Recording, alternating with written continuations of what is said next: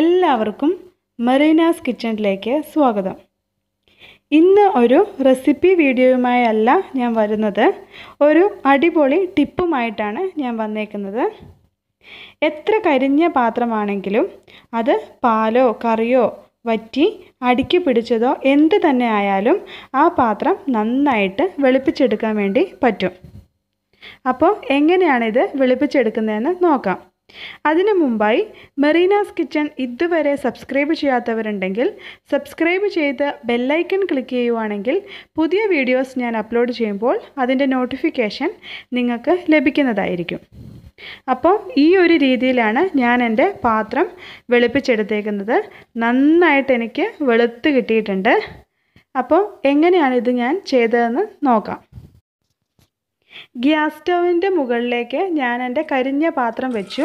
അതിന്റെ അകത്തേക്ക് ആവശ്യത്തിനുള്ള വെള്ളം ഒഴിച്ചു കൊടുക്കുവാണ്. അതായത് കരിഞ്ഞതിന്റെ മുകളിൽ വരെ വെള്ളം എത്തണം.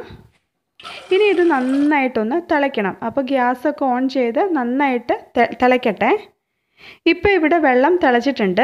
ഇനി ഞാൻ ബേക്കിംഗ് സോഡ ഇതിന്റെ അകത്തേക്ക് ഇട്ട് കൊടുക്കുവാണ്. ഒരു ഒന്നര ടീസ്പൂൺ ബേക്കിംഗ് സോഡയാണ് ഞാൻ ഇതിന്റെ അകത്തേക്ക് ഇട്ട് കൊടുക്കുന്നത്.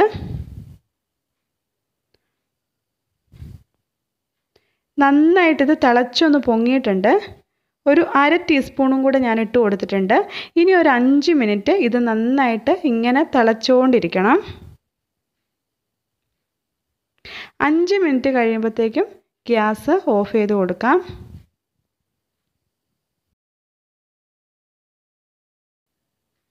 ഇപ്പം ഇതിന്റെ അകത്തുള്ള ആ കരിഞ്ഞ ഭാഗമൊക്കെ നന്നായിട്ട് ഇളകി വന്നിട്ടുണ്ട്.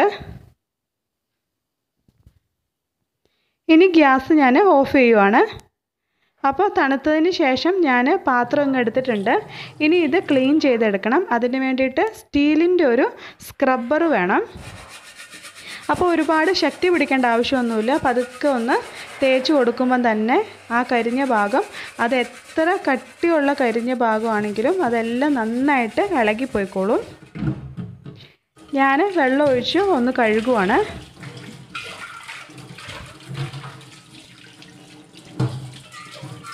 കഴുകിയെല്ലാം കഴിഞ്ഞപ്പം അത്യാവശ്യം വലിയ കുഴപ്പമില്ലാത്ത രീതിയിൽ പാത്രം ഒന്ന് വെളുത്ത് കിട്ടിയിട്ടുണ്ട്.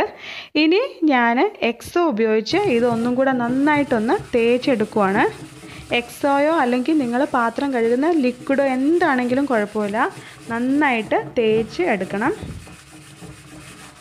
ഇനി പാത്രം കരിഞ്ഞു എന്ന് പറഞ്ഞ് അതാരും മാറ്റി വെക്കരുത്. അങ്ങനെ ഏതെങ്കിലും കരിഞ്ഞ പാത്രം നിങ്ങൾ മാറ്റി വെച്ചിട്ടുണ്ടെങ്കിൽ വേഗം അതെടുത്ത് ഈ ഒരു രീതിയിൽ ട്രൈ ചെയ്ത് നോക്കൂ. നല്ല റിസൾട്ട് നിങ്ങൾക്ക് കിട്ടും. ഹൺഡ്രഡ് പെർസെന്റേജ് നിങ്ങളുടെ പാത്രം എത്ര കരിഞ്ഞ പാത്രമാണെങ്കിലും എത്ര കട്ടിക്ക് അത് കരിഞ്ഞതാണെങ്കിലും നല്ല രീതിയിൽ വെട്ടിത്തിളങ്ങുന്ന പാത്രം നിങ്ങൾക്ക് ലഭിക്കും. എന്തായാലും വീട്ടിലിത് എല്ലാവരും ട്രൈ ചെയ്ത് നോക്കാൻ മറന്നു പോകരുത്.